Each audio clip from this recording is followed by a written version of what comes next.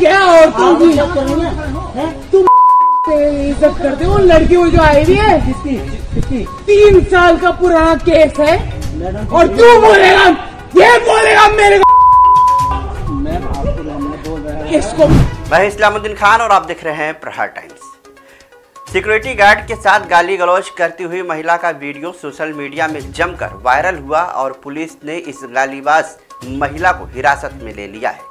नोएडा में एक महिला गेट खोलने में देरी होने पर भड़क गई और उसने सिक्योरिटी गार्ड को भद्दी भद्दी गालियाँ देना शुरू कर दिया।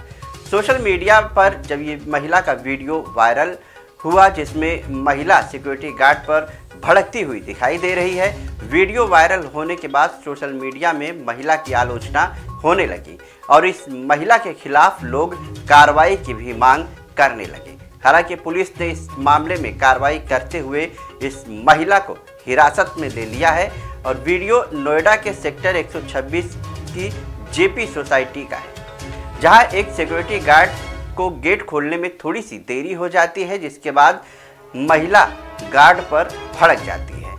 आग बबूला होकर महिला गार्ड के साथ बदतमीजी करना शुरू कर देती है, गार्ड को भद्दी भद्दी गालियाँ देती है। वीडियो में दिख रहा है कि महिला वहाँ मौजूद अन्य गार्डों को भी अपशब्द कहती है। एक गार्ड को पकड़कर यह महिला धक्का मुक्की करती हुई वीडियो में दिखाई दे रही है।